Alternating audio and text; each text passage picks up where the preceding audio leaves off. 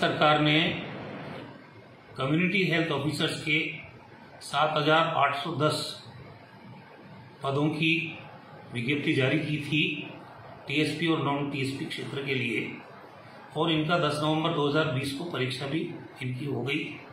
लंबे समय से ये अपने परिणाम का इंतज़ार कर रहे थे। डॉक्यूमेंट वेरिफिकेशन में समय लगा लेकिन आज मुझे खुशी है कहते हुए कि इन 7,810 जो पोस्ट है इनके अगेंस्ट सात हज़ार तीन सौ तिरपन अभ्यर्थियों के डॉक्यूमेंट वेरिफिकेशन का काम हमने पूरा कर लिया है और उनका परिणाम आज जारी भी कर दिया गया है। शेष चार सौ सत्तावन जो कैंडिडेट्स हैं, उनके डॉक्यूमेंट वेरिफिकेशन का काम अभी चल रहा है। जैसा हम सभी जानते हैं कि कोरोना महामारी का संक्रमण ग्रामीण क्षेत्रों में भी फैल गया है।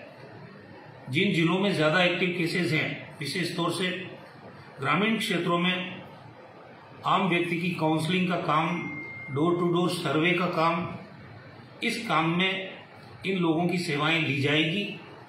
और इनकी सेवाएँ संबंधित जिला कलेक्टर्स को दी जा रही हैं। उससे पहले तीन दिन में इनको ज्वाइन करने के लिए कहा गया है और ज्वाइन करते ही जो संबंधित ज्वाइंट डायरेक्टर है हमारे विभाग के, उनको एक दिन की ट्रेनिंग देंगे और इनको जिला कलेक्टर्स को इनकी सेवाएँ देके और इनकी सेवाएँ ग्रामीण क्षेत्रों में, कोविड महामारी के इस प्रकोप के दौर में दी जाएँगी। मैं समझता हूँ कि कोविड महामारी के इस दौर में ये सभी चयनित अभ्यर्थी अपनी पूर्ण निष्ठा और ईमानदारी और ज़िम्मेदारी के साथ राजस्थान के ग्रामीण अंचल में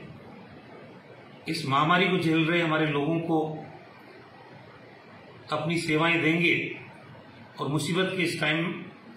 मैं समझता हूँ कि एक बहुत बड़ा कदम राज्य सरकार के द्वारा ये उठाया गया है।